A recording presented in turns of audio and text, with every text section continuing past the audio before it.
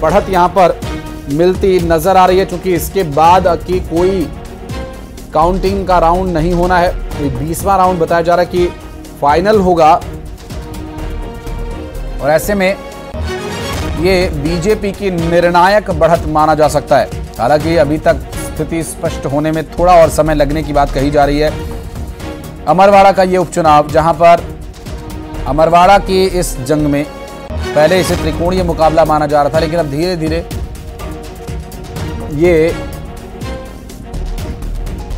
कमलेश शाह और धीरन शाह के बीच मुकाबला होकर रह गया है, क्योंकि दोनों ही पूरा ज़ोर लगाए हुए हैं और इनके पीछे दो बड़ी पार्टियों का हाथ है। एक तरफ़ जहाँ कमलेश शाह भारतीय जनता पार्टी के प्रत्याशी हैं, वहीं धीरन शाह कांग्रेस पार्टी के प्रत्याशी हैं, जो कि शुरू में काफ़ी लीड लेकर चल रहे थे।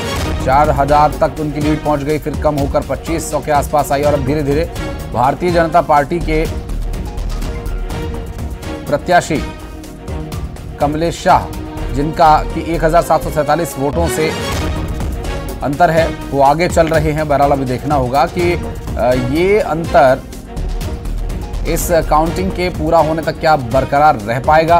बहरहाल अभी की स्थितियों को देखें तो भारतीय जनता पार्टी के प्रत्याशी को लगभग सत्रह वोटों की बढ़त है। और बीसवें राउंड की ये काउंटिंग जारी है। हालाँकि काउंटिंग बीसवें राउंड की जारी है, लेकिन काउंटिंग फ़िलहाल रुकी हुई है। और ऐसे में काउंटिंग का रुका होना, क्योंकि दो ईवीएम खराब बताई जा रही हैं। आखिरी राउंड में बीजेपी आगे नज़र आ रही है और ईवीएम खराब हो चुकी है। राजेश करमेले से बात करेंगे। राजेश, ये ईवीएम कैसे खराब हो गई?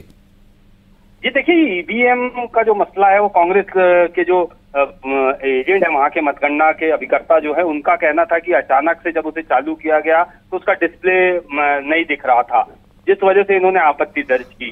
दो ईवीएम के ऐसे मामले सामने आए हैं, जिनका दोनों का डिस्प्ले दिखाई नहीं पड़ रहा था। इस बात को लेकर के कांग्रेस ने आपत्ति दर्ज की है। कांग्रेस के जो बड़े नेता, जो मतगणना केंद्र के बाहर थे, घरों से देख रहे थे, वो वापस मतगणना केंद्र में पहुँचे हैं और मतगणना केंद्र के बाहर इस बात को लेकर आपत्ति दर्ज करा रहे हैं कि जो टेबुलेशन हो, वो फिर से हो। उन्हें कहीं ना कहीं इस बात की आशंका है कि गड़बड़ी हुई है और यही वजह है कि वो आपत्ति दर्ज करा रहा है। उधर भाजपा जो है, भाजपा ने स्पष्ट कर दिया है कि वो तकरीबन 2500 वोटों से जीत दर्ज करा चुके हैं। हालाँकि अभी फाइनल आंकड़े नहीं आए हैं। वीवीपैट की गिनती की बात प्रशासनिक अधिकारियों ने कही है। जी। आ, लेकिन राजेश अब काउंटिंग कैसे पूरी होगी? जो काउंटिंग अभी बीसवें राउंड की रुकी हुई है। जी बिल्कुल। देखिए अभी बीसवें राउंड की काउंटिंग रुकी हुई है। किसी तरह की कोई आधिकारिक घोषणा नहीं की गई है। उन्नीसवें राउंड की घोषणा के बाद यहाँ पर किसी तरह की बीसवें राउंड की घोषणा नहीं की गई है। जो जीत का अनुमान है वो लगाया जा रहा है। भाजपा के कार्यकर्ता जो बाहर खड़े थे जो नेता बाहर खड़े थे वो जीत का अनुमान लगा करके नारेबाजी करने लगे हैं। जी। हम्म, लेकिन राजेश एक बात और यहाँ सबसे महत्वपूर्ण है कि इस बीच कोई आधिकारिक जानकारी साझा नहीं की जा रही है। क्या कर रहा है चुनाव आयोग? बिल्कुल देखिए, इतनी, इतने बड़े मामले की किसी तरह से कोई आधिकारिक जानकारी अभी नहीं दी गई है। जहाँ घोषणा होती है, वहाँ से भी किसी तरह की कोई जानकारी नहीं दी जा रही है। मतगणना जहाँ हो रही है, उसे लॉक कर दिया गया है। किसी पत्रकार को जाने की अनुमति अंदर नहीं है। यही वजह है कि कांग्रेस जो है वो बिल्कुल, और इस बीच एक बड़ी खबर, राजेश ईवीएम खराब होने की बात सामने तो आई ही, लेकिन निर्णायक बढ़त यहाँ पर बनी हुई और अब वीवीपैट से काउंटिंग होगी इस बीच। एक बड़ी खबर, अमरवाड़ा में बीजेपी को मिली इस निर्णायक बढ़त के बाद। अभी तक रिज़ल्ट जो डिक्लेयर होने में एक अड़चन आ रही थी वो ये कि ईवीएम खराब हो जाने के बाद अब वीवीपैट के माध्यम से आगे की काउंटिंग की जाएगी। राजेश हमारे सहयोगी लगातार हमारे साथ मौजूद है। राजेश, अब क्या यही एक निर्णय लिया गया है कि वीवीपैट से काउंटिंग संपन्न हो और क्या दोनों ही पक्ष राज़ी हैं इस बात के लिए? जी बिल्कुल देखिए, अंदर से जो बाहर खबर आई है, अधिकारी चूँकि अंदर प्रवेश वर्जित कर रखा है, बाहर जो खबर आई है स्पष्ट कर दिया गया है कि वीवीपैट जो है वो उससे काउंटिंग होगी, उसके बाद तय किया जाएगा कि मतों का अंतर कितना है और क्या रिज़ल्ट, क्या नतीजे आते हैं। दोनों दलों के नेताओं से जब हमारी बातचीत हुई है तो दोनों दलों के नेताओं ने कहा है कि कोई उन्हें आपत्ति नहीं है इस निर्णय पर और प्रशासन ने भी इस निर्णय पर सहमति जताई है। हमारे जो सूत्र बता रहे हैं उसके उनके मुताबिक। हम्म, लेकिन राजेश चूँकि इसमें थोड़ा टाइम लग सकता है वीवीपैट से काउंटिंग में बैलेट पेपर जैसी काउंटिंग जैसा ये विषय होगा पूरा?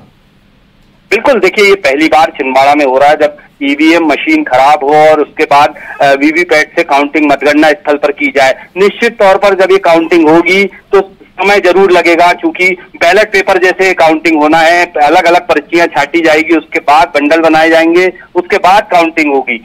ये जो है, तकरीबन दो से तीन घंटे का समय और लग सकता है। हालाँकि अभी प्रशासन ने आधिकारिक घोषणा बाहर आकर नहीं की है किसी तरह की, कि क्या भीतर चल रहा है और क्या निर्णय लिया गया है। जी। किन क्षेत्रों की ईवीएम मशीन्स हैं ये, जहाँ पर इन्हें वोटिंग के दौरान इस्तेमाल किया गया था, वो कौन से क्षेत्र हैं, जहाँ की वोटिंग की काउंटिंग अभी रह गई है? ये देखिए, हमारी जो जानकारी है, जिस तरीके से भाजपा के नेताओं से और कांग्रेस के नेताओं से हमारी बातचीत हुई है, उनका कहना है कि जिस बूथ की ये मशीनें हैं, वो अमरवाड़ा के ग्रामीण इलाके हैं। और ग्रामीण इलाकों से भाजपा को बढ़त मिल रही है।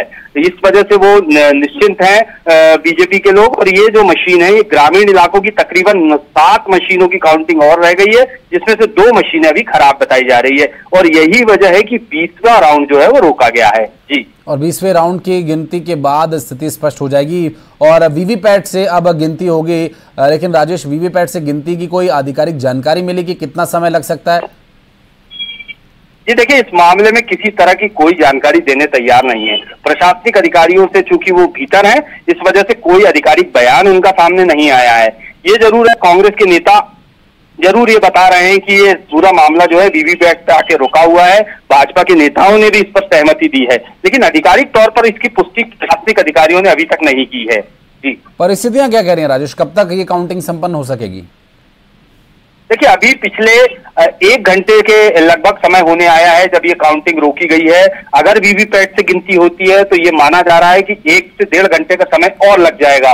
और ऐसी हालात, ऐसे हालात में तकरीबन तीन दो से तीन बजे तीन बजे का समय हो सकता है कि फाइनल रिज़ल्ट सामने आए। प्रशासन के अधिकारी भी यही मान रहे हैं कि तकरीबन तीन बजे तक फाइनल रिज़ल्ट वो घोषित कर देंगे। निर्णायक बढ़त की बात कही जा रही है। सत्रह के आसपास वोटों की बढ़त बीजेपी ने अब तक बनाई हुई है। काउंटिंग रुकने तक कितनी बढ़त थी क्या है डिटेल्स ये देखिए बीजेपी निर्णायक बढ़त पे तो आ गई थी। कमलेश शाह जो है वो निर्णायक बढ़त पे थे क्योंकि दो ईवीएम रुकी हुई है तो उसमें कोई बहुत ज़्यादा ऐसे मैं मैं लौटूँगा राजेश आपके पास। शैलेंद्र भदौरिया हमारे सहयोगी इस वक्त जुड़ गए बीजेपी दफ्तर में जश्न की तैयारियाँ होनी शुरू हो गई हैं। शैलेंद्र मिठाइयाँ आ गई हैं?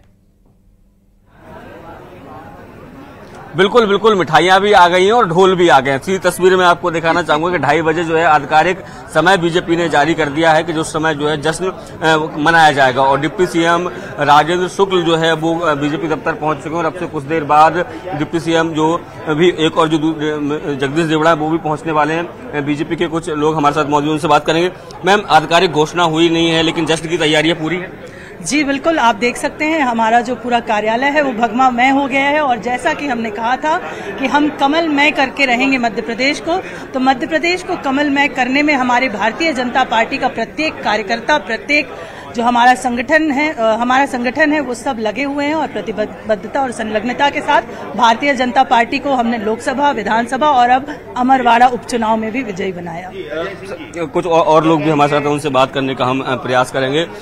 मिलन जी जीत की अभी आधिकारिक घोषणा नहीं हुई है बताया जा रहा है तीन बजे तक घोषणा होगी लेकिन बीजेपी पूरी तरीके से आश्वस्त है जीत की तैयारियाँ पूरी। देखिए कहीं ना कहीं व्यवहारिक जो जानकारी आ रही है उसमें ये सब मानकर चल रहे हैं भारतीय जनता पार्टी जीत गई है और कांग्रेस ने हार स्वीकार कर ली।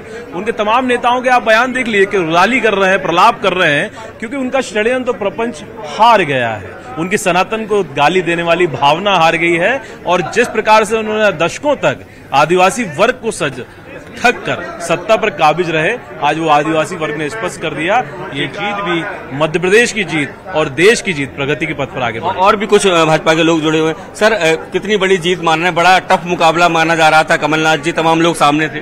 देखिए, मध्य प्रदेश में कांग्रेस के झूठ की पोल अमरवाड़ा की जनता ने खोल दी है। जिस तरह से राजा कमलेश शाह जी का अपमान जीतू पटवारी ने किया, कांग्रेस के नेताओं ने किया, झूठ फैलाया। जनता ने बता दिया कि अमरवाड़ा की जनता प्रधानमंत्री मोदी जी, डॉक्टर मोहन यादव जी की डबल इंजन के साथ है और कांग्रेस पार्टी को नकार दिया अमरवाड़ा की जीत पूरे प्रदेश के कोने कोने तक पहुंचेगी, एक बड़ा संदेश है। तो देखिए, तमाम जो लोग हैं, वो साफ़ तौर पर ये कह रहे हैं कि बीजेपी की एक बड़ी जीत है, क्योंकि कमलनाथ का गढ़ कहा जाता था और तमाम तैयारियाँ भी जिस तरह देखते हैं, कार्यकर्ताओं के पहुँचने का जो सिलसिला है, वो भी अब शुरू हो गया है। डिप्टी सीएम भी यहाँ पहुँच चुके हैं और जल्द ही लगभग दो बज के तीस मिनट का आधिकारिक समय दिया गया। उस समय जो है, अब जो है वो जीत का जश्न जो है वो यहाँ पर मनाया जाएगा। तो तमाम जो तैयारियाँ हैं वो बीजेपी की तरफ़ से की गई थी और जिस तरीके से लगातार सुबह भी जब हमने डिप्टी सीएम से बात की थी तो उन्होंने साफ़ कहा था कि देखिए शुरुआती रुझान है आने दीजिए लेकिन अंतिम परिणाम जो है वो बीजेपी के पक्ष में ही होगा और वही स्थितियाँ जो है वो फ़िलहाल देखने को मिल रही है। देखिए भले ही पंद्रहवें राउंड तक कांग्रेस के जो प्रत्याशी हैं वो आगे चले हों लेकिन उसके बाद हम देख रहे हैं कि बीजेपी के जो प्रत्याशी हैं उन्होंने लगातार बढ़त बनाई। हालाँकि अभी